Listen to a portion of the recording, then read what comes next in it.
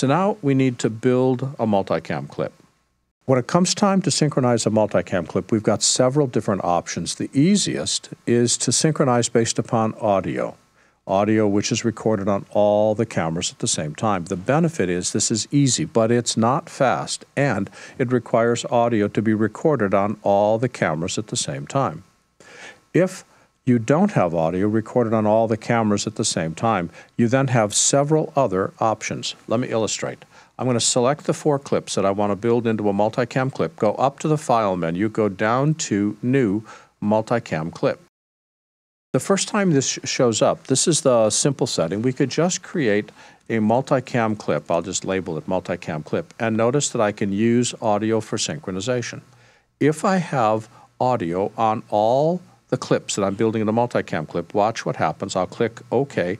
It takes a little bit of time to figure out how to get the clips to sync up, and there's my multicam clip indicated by this little four thingy up in the, the top left corner works perfectly okay, except if you've got a multicam clip which is an hour long and your cameras didn't all start at roughly the same time, syncing can take not just a few seconds but several minutes as Final Cut figures out how all the audio lines up. It can take a long time. So we have other options. If I select my clips, go up to the File menu, go down to New, Create a Multicam Clip, and uncheck Use Audio for Synchronization and click Use Custom Settings, now we've got a lot more controls. I'm going to call this My Multicam Clip. Under Angle Assembly, automatic means that if the camera angle is empty and if the camera name is empty, it bases it on the file name. So that's what we talked about earlier. Or I can say build the order based upon camera name, that's the field in the inspector, or build the order based upon camera angle. In this case, I'll build it on camera angle to prove a point.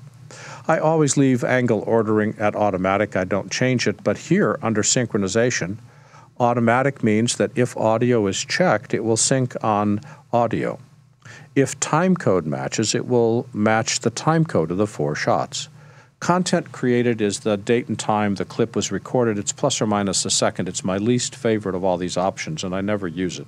Start of the first clip we'll use when we're working with audio only, and first marker we'll use in just a couple of minutes. For right now, I want to use timecode.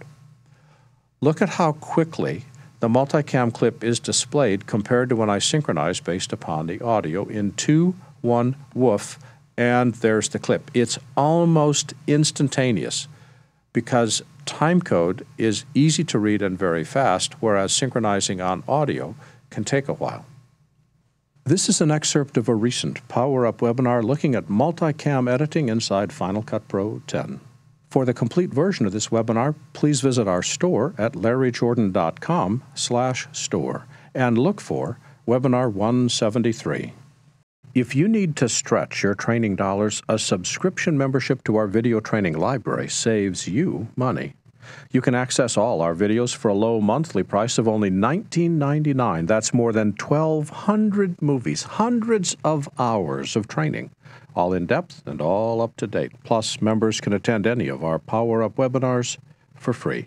Our training covers Apple and Adobe software. We update it every week, and for more information, visit larryjordan.com slash subscriptions.